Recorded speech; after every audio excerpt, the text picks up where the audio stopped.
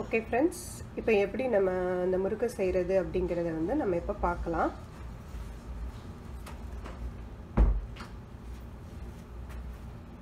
எந்த கிளாஸ் வேணாலும் நீங்கள் அளவு எடுத்துக்கலாம். நான் வந்து இப்போ இந்த கிளாஸ் யூஸ் பண்ணுறேன் ஃபஸ்ட்டு ஃபஸ்ட்டு நீங்கள் ட்ரை பண்ணுறதா இருந்தால் இந்த சின்ன அளவு கூட நீங்கள் எடுத்துக்கலாம். இப்போது இந்த ஒரு கிளாஸ் அளவுக்கு சாதாரணமான வீட்டில் சமைக்கக்கூடிய புழுங்கல் அரிசி. செய்கிறதுனால நெஞ்சு எரிச்சல் அதிகமாக குழந்தைங்க வந்து முறுக்கு சாப்பிட்டா கூட அவங்களுக்கு வந்து நெஞ்சு எரிச்சல் வராது. ஸோ அதனால் ஒரு கிளாஸ் புழுங்கல் அரிசி. எந்த கிளாஸ் எடுத்துருக்கீங்களோ அந்த கிளாஸ் அளவுக்கு கால் அளவு வந்து உளுந்து கால் அளவு வந்து பொரிகடலை அல்லது பொட்டுக்கடலை ஏதாவது ஒன்று அதுக்கப்புறம் ஒரு ஸ்பூன் வந்து எள் ஒரு ஸ்பூன் சீரகம் உங்களுக்கு தேவையான அளவு உப்பு எவ்வளோ சேர்க்கணுமோ அவ்வளோ இதையும் பண்ணிடலாம்.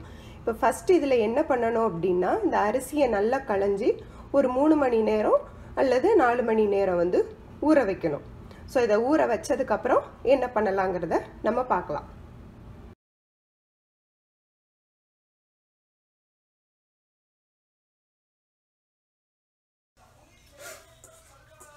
இப்போ இந்த ஊற வச்ச அரிசியை வந்து கிரைண்டரில் போட்டு நல்ல ஒரு இட்லி மாவு பதத்துக்கு கொஞ்சம் கொஞ்சம் கொஞ்சமாக தண்ணி விட்டு கொஞ்சம் உப்பு சேர்த்து கொஞ்சம் கட்டியாக அரைச்சி எடுத்துக்கலாம்.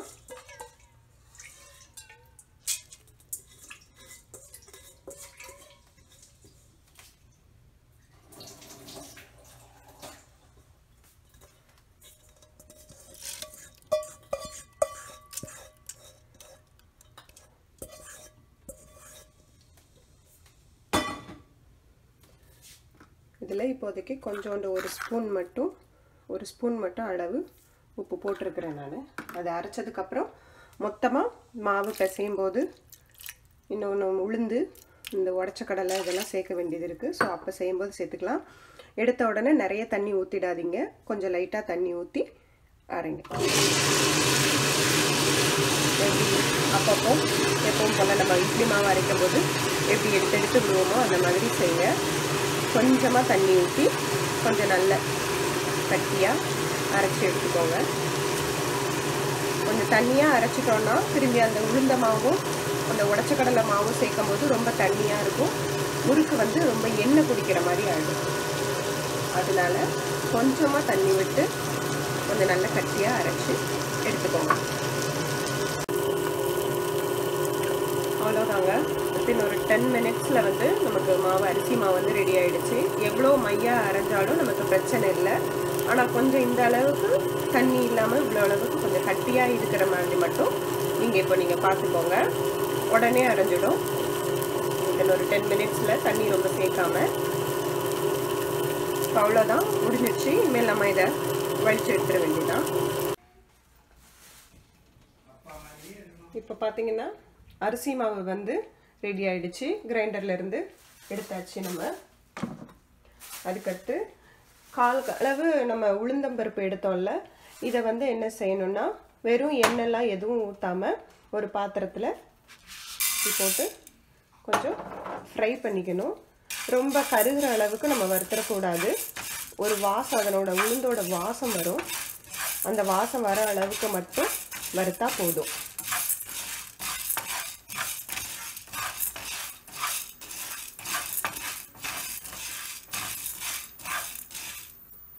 இந்த உடச்ச கடலையை எதுவுமே செய்ய வேண்டாம் வறுக்க வேண்டாம் எதுவும் செய்ய வேண்டாம். அப்படியே மிக்சியில் போட்டு பொடிச்சா போதும். இந்த உளுந்தை கொஞ்சம் நல்லா வறுத்துட்டு வாசம் வர வரைக்கும் வறுத்துட்டு கொஞ்சம் ஆற வச்சு அதையும் மிக்சியில் வச்சு நல்லா பொடி பண்ணி எடுத்துக்கணும்.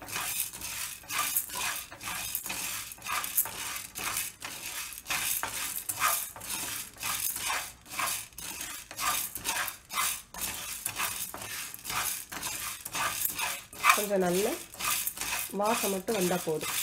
கருகிற அளவுக்கு விட்டுறாதீங்க. எண்ணெய் எதுவும் வேண்டாம்.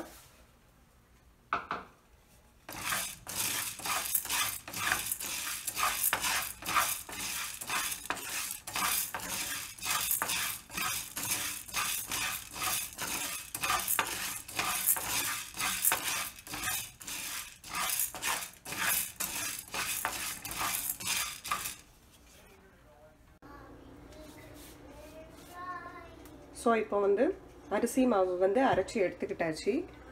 உளுந்தை வந்து நல்லா கொஞ்சம் வறுத்து கருகாமல் லைட்டாக ஆற வச்சு இதையும் நல்லா மிக்சியில் பிடிச்சி எடுத்தாச்சு. இது இது கூட சேர்த்துடலாம்.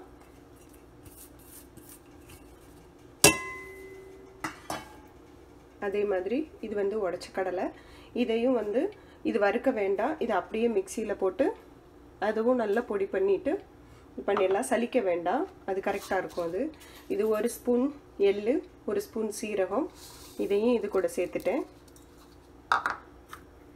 இப்போ கூட ஒரு ஸ்பூன் உப்பு சேர்த்துருக்குறேன். வேணும்னா நீங்கள் அதுக்கப்புறம் உப்பு பார்த்துட்டு கூட நீங்கள் சேர்த்துக்கலாம்.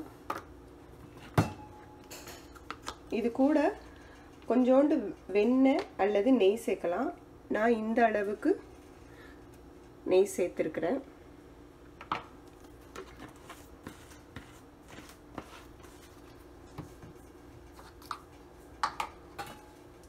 இப்போ இதை எல்லாத்தையும் மொத்தமாக சேர்த்து பிசைஞ்சு எடுத்து ஒரு சப்பாத்தி மாவு பதத்துக்கு வந்து நம்ம கொண்டுட்டு வந்துடலாம். அப்புறம் இந்த மாவு பிசைஞ்சு நம்ம ரொம்ப நேரம் வச்சுருக்க கூடாது.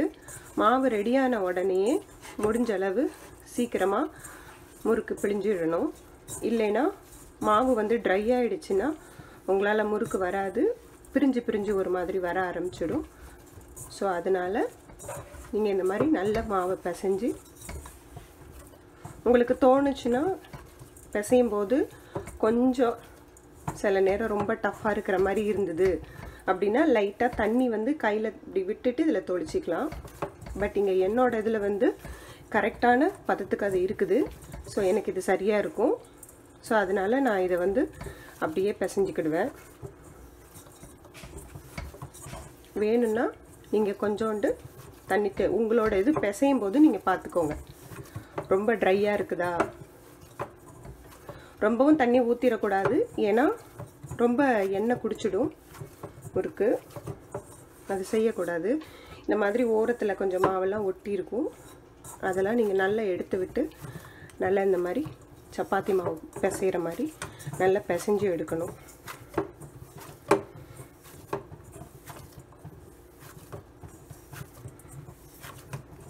நல்லா உப்பு இது எல்லாமே சேரணும். எல்லா மாவும் ஒன்றா சேரணும். ஸோ பிரித்து பிரித்து விட்டுட்டு நீங்கள் பிசைஞ்சால் கூட சரியாக வரும்.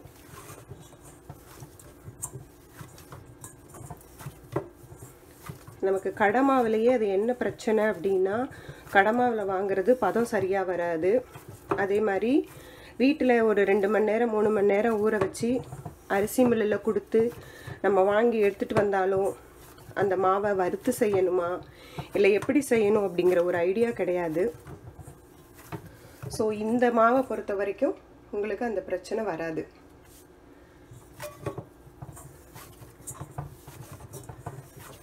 நல்லா பிசைஞ்சிக்கிட்டிங்கனாலே போதும். இது பிசையும் போது சைடில் வந்து எண்ணெய் காய வச்சிடணும். மாவு வந்து சப்பாத்தி மாவு மாதிரி நல்லா பிசைஞ்சு இந்த மாதிரி மூடி போட்டு மூடி வச்சுருக்கிறேன். ஏன்னா எனக்கு கொஞ்சம் எண்ணெய் கொதிக்கிறதுக்கு கொஞ்சம் டைம் எடுத்துருக்குது. ஸோ அதனால் மாவு ட்ரை ஆகிடக்கூடாதுங்கிறதுக்காக இப்படி போட்டு மூடி வச்சுருக்கிறேன். இதே இடியாப்ப குழல் தான். நம்ம இடியாப்பம் செய்யக்கூடியது தான். உள்ளே சுற்றி கொஞ்சம் லைட்டாக எண்ணெய் நல்லா தடவிக்கோங்க. இந்த சைடும் இந்த சைடு உள்ளே இந்த சைடு எல்லாம் தடவிக்கோங்க. இதுலேயும் ஃபுல்லும் எண்ணெய் தடவிடுங்க. தடவிட்டு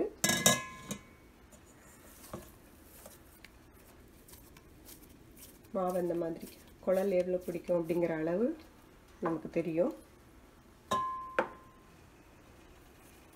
ஸோ உள்ள கொஞ்சம் பண்ணுங்கள் ரொம்ப வெளியில் வர வேண்டாம். இந்த அளவுக்கு வச்சா சரியாக இருக்கும். ஸோ மாவை எடுத்துட்டு திரும்ப இது க்ளோஸ் பண்ணிவிடுங்க இப்போது முறுக்கு புளிய போகிறோம் நல்ல எண்ணெய் காஞ்சிட்டான்னு சொல்லிட்டு பார்த்துக்கோங்க கை வச்சு பார்க்கும்போது கொஞ்சம் ஹீட்டு நம்மளால் நல்லா உணர முடியாக பார்த்துக்கணும் அப்படி அதுவும் தெரியல அப்படின்னு சொன்னால் ஒரு இந்த அளவுக்கு மாவை எடுத்து இப்படி இதில் போட்டு பாருங்கள் அது மேலே எலும்பி வந்துச்சுன்னா எண்ணெய் வந்து ரெடியாக இருக்குன்னு அர்த்தம். ஸோ நம்ம இப்போ முறுக்கு புளியை ஸ்டார்ட் பண்ணலாம்.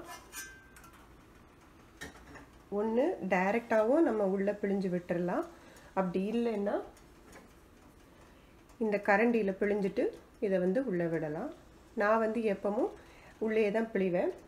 இன்னொன்று இந்த முறுக்கு வந்து கொஞ்சம் இடைவெளி விட்டு நீங்கள் வந்து பிழியணும். ரொம்ப நெருக்கமாக ப ப- பிழிஞ்சிங்கன்னா அது வந்து எண்ணெயில் வேகாது. அந்தந்த சைடு கொஞ்சம் வேகாத மாதிரி ஒன்று தோணும். அதனால் எப்படி பிழிகிறேன்னு பார்த்துக்கோங்க.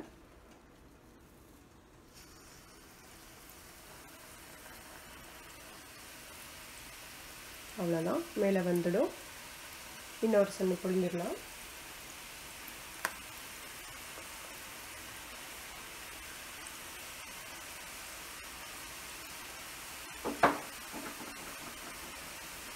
இப்படி வரும். இப்போ நமக்கு முறுக்கு எப்படி ஆயிருக்குது? அந்த பதம் வந்து கரெக்டா எப்படின்னு பார்க்கறதுக்காக இந்த பபிள்ஸ் வருது பார்த்தீங்களா? நொர நிறையா வருதுல்ல. இது அடங்கினாலே முறுக்கு வெந்துடுச்சு அப்படின்னு சொல்லி அர்த்தம். இந்த மாதிரி மாவு பதத்தில் செய்கிறது முடிஞ்ச அளவு கருகாது இந்த மாவு. நீங்கள் எவ்வளோ நேரம் போ ரொம்ப நேரம் எண்ணெயில் போட்டு அப்படி எடுத்தால் மட்டும்தான் அந்த கலர் வந்து மாறும். இல்லைன்னா நல்லா அழகாக வெள்ளையாக அந்த முரு முறுக்கு வந்து பார்க்குறதுக்கே அழகாக இருக்கும். நல்லா இப்படி கொஞ்சம் கொஞ்சம் குறைஞ்சதுக்கப்புறம் கொஞ்சம் இப்படி திருப்பி போட்டுக்கோங்க. இது இன்னும் கொஞ்சம் லேட் ஆகும் ஏன்னா இது ஃபஸ்ட்டு போட்டது இது ரெண்டாவது போட்டது.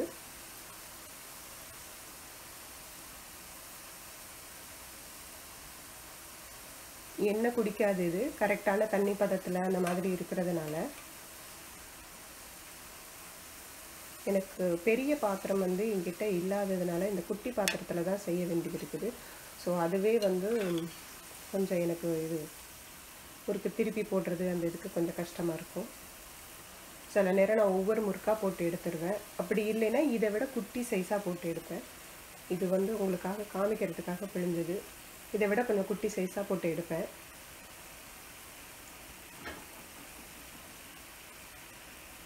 இப்படி திருப்பி போடணும். அந்த எண்ணெய் கொஞ்சம் பபுள்ஸ் குறைஞ்சதுக்கப்புறம் நீங்கள் எடுத்தீங்கன்னா அந்த கரெக்டான இது இருக்கும். அதுக்கு முன்னாடி எடுத்தீங்கன்னா முறுக்கு வந்து கொஞ்சம் எப்படி சொல்கிறது வேகாமல் கொஞ்சம் ஒரு மாதிரி ரப்பர் மாதிரி இருக்கிற மாதிரி உங்களுக்கு ஃபீல் ஆகும். அதனால் அந்த எண்ணெய் இது வந்து அடங்கணும். அதுக்கப்புறம் தான் நீங்கள் எடுக்கணும். ஸோ இந்த மாதிரி முறுக்கு வந்து காலையில் நம்ம ஊற வச்சோம் அரிசியை ஊற வச்சோன்னா கூட ஈவினிங் ஸ்நாக்ஸாக கூட உடனே நம்ம ரெடி பண்ணிடலாம். வெறும் உளுந்த மா உளுந்தை மட்டும் கொஞ்சம் ஃப்ரை பண்ணி மிக்சியில் அடித்தா போதும். உடச்ச கடலையை அப்படியே அடிச்சிட்டோன்னா ஈவினிங் ஸ்நாக்ஸுக்கு வந்து குழந்தைங்களுக்கு ரெடி ஆகிடும் இது வெளியிலேயே வாங்க வேண்டாம். வீட்டிலேயே நம்ம செய்கிறதுனால ரொம்ப நல்லது. இதை வச்சுட்டா கூட நீங்கள் அப்படியே கொஞ்சம் ஒரு நாலஞ்சு நாள் வச்சு கூட சாப்பிடலாம். இந்த ஒரு கிளாஸ் மாவுக்கே நீங்கள் கொஞ்சம் குட்டி குட்டியாக போட்டு எடுத்தீங்கன்னா ஒரு இருபது முறுக்கு வரும். ஸோ அது உங்களுக்கு பெஸ்ட்டாக இருக்கும். இதோ முறுக்கு ரெடி ஆகிடுச்சுங்க இது வந்து நான் உங்களுக்கு சொல்கிற குட்டி குட்டியாக செஞ்சு பார்த்தா எப்படி இருக்குங்கிறதுக்காக நான் செஞ்சேன் நான். இந்த மாதிரி கையில் எடுத்து பார்த்தா இந்த மாதிரி உடைய உடையணும். நல்ல கிறிஸ்பியாக இருக்குது பாருங்கள் மாதிரி இருக்கணும்.